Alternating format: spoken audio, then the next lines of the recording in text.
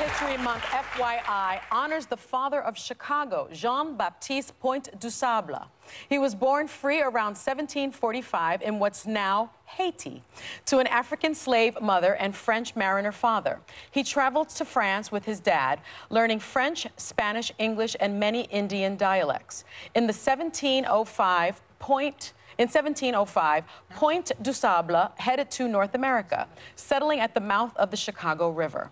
During the Revolutionary War, he was imprisoned by Brits as a spy.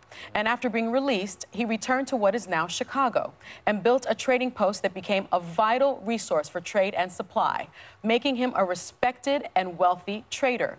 Point du Sable is considered the very first citizen of Chicago, immortalized in a national landmark on the Chicago River, as well as having a bridge, harbor, high school, and wow. museum yeah. named in his honor. Pretty good, right?